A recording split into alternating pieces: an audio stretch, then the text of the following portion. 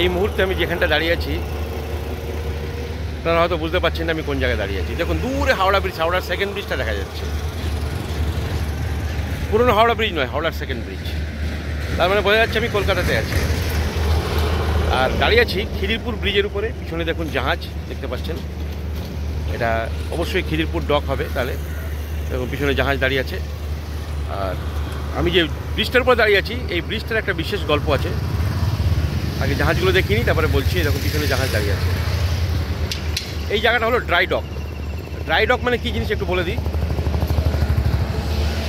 জাহাজটা যখন সমুদ্র দিয়ে আসে সে নদীতে এসে দাঁড়ায়, বন্দরে দাঁড়ায়, তারপরে মেনটেনেন্স করার জন্যে জাহাজটা দেখুন ওই পাড়ে চলে যায়। ব্রিজের, ওই আমি ব্রিজের উপরে দাঁড়িয়ে আছি, ব্রিজের ওপারে যায়। ওখানে গিয়ে জলটাকে শুকিয়ে দেওয়া হয়, পুরোপুরি জলটা ড্রাই হয়ে যায়, জাহাজটা জলে নেমে যায়। তারপর জমিতে যখন জাহাজটা এসে যায়, তখন জলের তখন জাহাজের তলটা মেনটেনেন্স করা হয়। সেই জন্য এই জায়গাটাকে বলে ড্রাই ডক এখানে জল শুকিয়েও যায় কোনো কোনো সময়। মানে শুকিয়ে দেওয়া হয় পাম্প দিয়ে। আর যে ব্রিজটার উপরে দাঁড়িয়ে আছি, দেখুন, এই যে ভোরবেলা বলে একটু গাড়ি কিছুটা কম। প্রচুর গাড়ি সারাদিন যাতায়াত করে।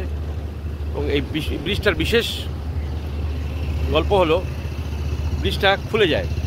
তখন জাহাজটা জলের এক প্রান্ত থেকে আরেক প্রান্তে আসে বাট মেনটেনেন্স করে আবার যখন মেন ডকে আসে বা জাহাজটা যখন বন্দর থেকে আবার ওই ড্রাই ডকে যায়, তখন এই ব্রিজটাকে খুলে দিতে হয়। ব্রিজটা এরম আক- এর- এইভাবে আকাশে উঠে যায় এবং তল দিয়ে জাহাজটা পার হয়ে যায়।